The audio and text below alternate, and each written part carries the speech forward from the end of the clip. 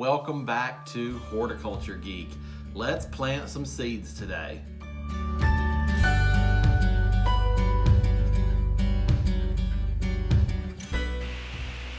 What's up guys, welcome back. I'm Ray. Thanks so much for joining me today. And as promised in an earlier video, today I'm finally ready to kind of unbox the Grower GrowEase seed starting kit from Gardener Supply.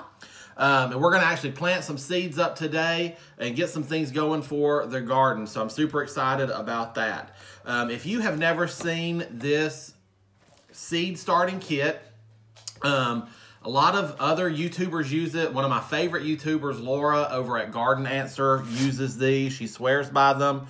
Um, and I'm super excited to give these a try um, because these have some unique features about them that I think you're going to love if you're going to do seed starting. So I've already got one opened here so that we can kind of go through it. So what we have is several pieces. So we have a stand that holds our seed cells, our seed starting cells. And now these are really good, thick plastic. They're durable. They're reusable year after year. These are really good quality. So you're gonna use these for a long time. That's really nice. We have a capillary or water wicking mat because this is a self-watering system. We have our tray, which is a solid tray. There's no drainage holes in this to catch and hold water so that it can be self-watering. And then we have our humidity and moisture dome. So you get all of that in the kit. So now this is really easy to put together. So once we have our tray here, we're going to put our stand in the tray. And what that does for us is that creates a water reservoir. So you can see the stand legs there. So those set down here and they set, and the tray is made with little grooves. So the feet of the stand set into the grooves in the tray to hold the system together so it won't be sliding and shaking on you. So it's in there. And that creates a water reservoir. Next, we take our uh, capillary or water wicking mat, and we're just gonna fold over one side like this, and it tucks down the side of the tray, and then the rest of the, the mat lays across the top. So what that's gonna do for us is that side that we folded and dipped down in there is actually going to be in the water reservoir and it's going to pull that water up and wick it across this mat um, very much like a oil lamp wick um, wicks oil up so that it can burn. Same thing here. Um, so it's just going to wick the water up and pull it across this, this mat. And now here's our seed starting cells. And you can see that there are holes.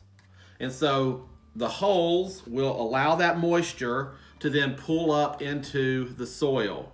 So all we have to do at this point is fill our soil cells with this with our soil and put our seeds in here. and then at the very end, obviously, we have a humidity dome that sets right on top. All right, so let's run through what I'm gonna plant today because I'm super excited about this. Um, so this takes a lot of the guesswork out of growing seeds. If you have ever tried growing seeds before and you've killed them with kindness, I know I've done that, you really just overwater them, this will help take care of some of that issue.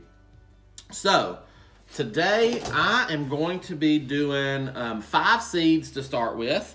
And I have them lined up here and I've already got my seed tags written out.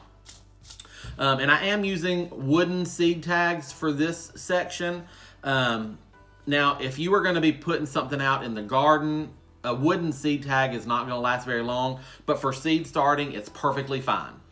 So, and the reason I like these for seed starting is because of their size.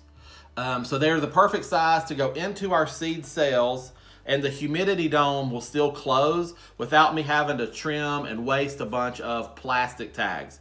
So just know that if you choose to do this method, you can. Um, I, these were relatively inexpensive, so they're going to work really well for seed starting. And then I know once I get ready to put stuff out in the garden, I'll do a more permanent plant tag at that point.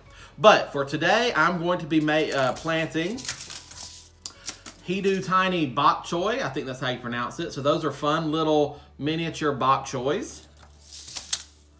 Next up, I have Purple Lady Bok Choy. So we're going to try some of that out. Next, I'm going to be starting some Sugar Ann peas to get those ready to go out. And I also have some Oregon sugar pod peas. We'll get those.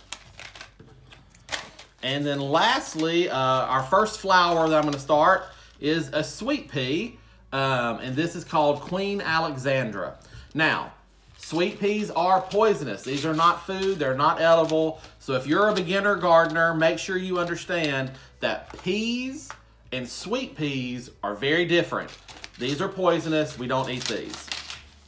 All right, so now um, I'm ready to get started. So we are going to push all this aside.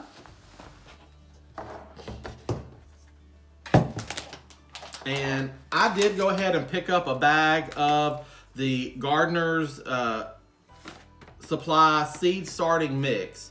Just to give it a shot, you can buy seed starting mix at any garden center or big box store. Um, you don't have to order from a company. I just ordered a bag to try it out.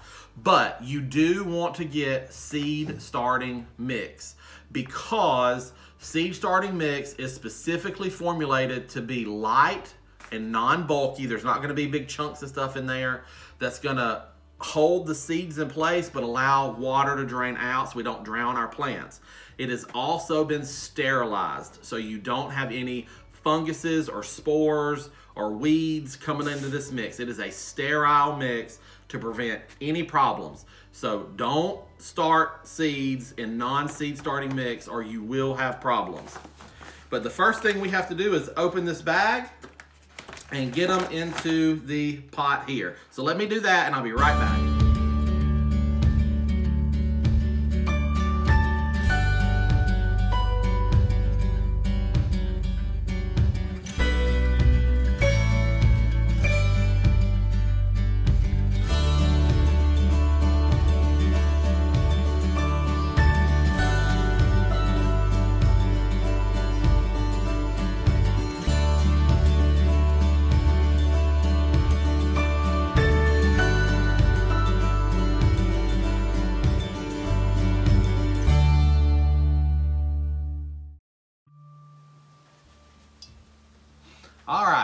So you just saw me pour the soil into this bowl and then I added water in.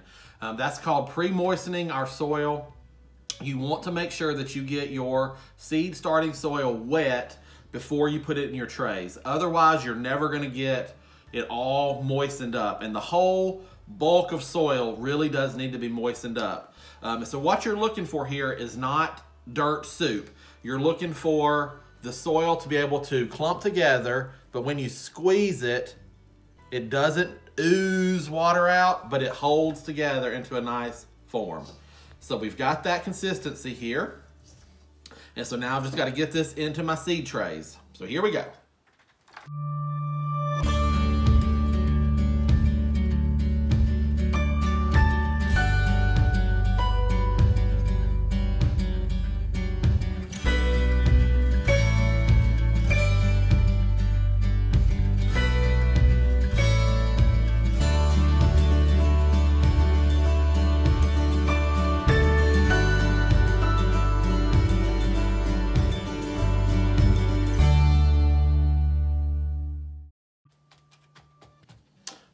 So once we have soil in there, we just want to come through and give a light tamp.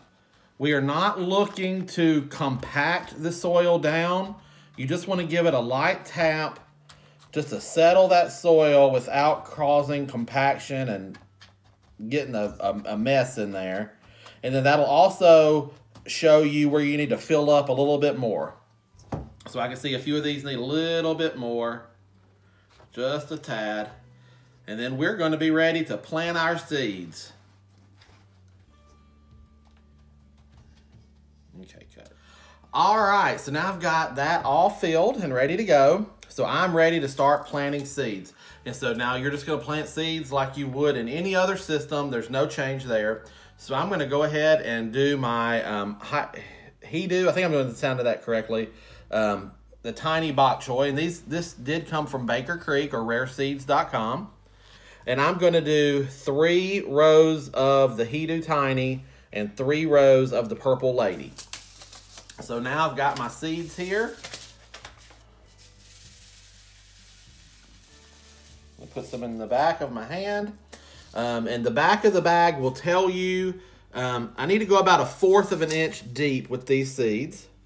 And so you can see these seeds are pretty tiny, but I have seen smaller. So I'm gonna try to get uh, about two to three seeds in each cell. So I'm just gonna make a little hole, just itty bitty tiny hole.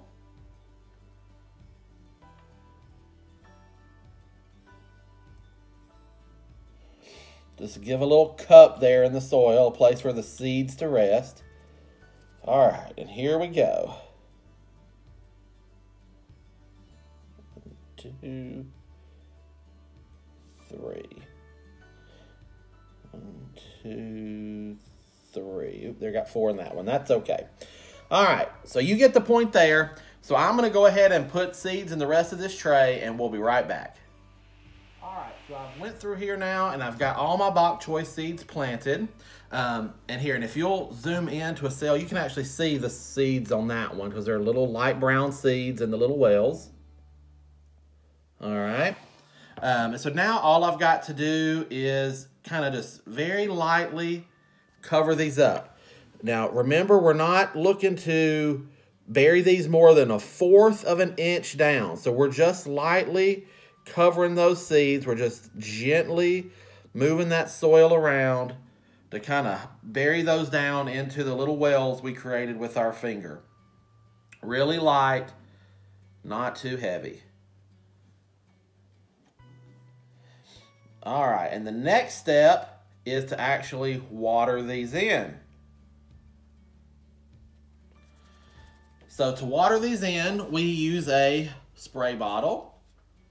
And we're going to give these a good water down on each cell. And that's going to settle the soil and the seed and give that seed a little bit extra moisture to get going.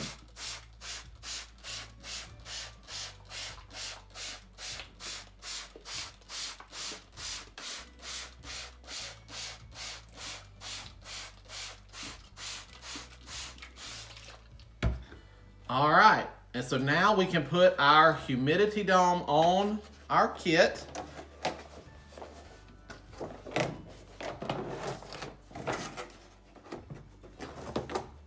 And we can set it in its tray.